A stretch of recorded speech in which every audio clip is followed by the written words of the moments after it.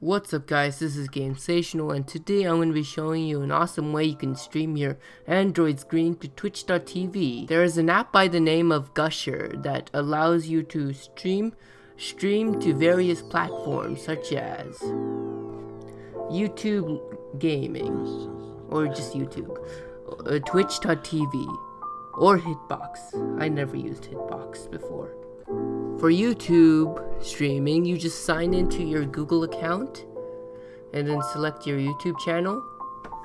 And then uh, you then you put your title and uh, the description for Twitch.tv. You you put the stream, the, the stream title, and the game you're playing. Oh, and let's not forget, you can also adjust the quality to make your your stream a little bit better. Guys, you hope you find this video helpful. I hope you are successful on twitch.tv or or YouTube or whatever whatever platform you're on. Thanks so thank you so much for watching. Be sure to comment, like and subscribe and I'll see you later. At ease.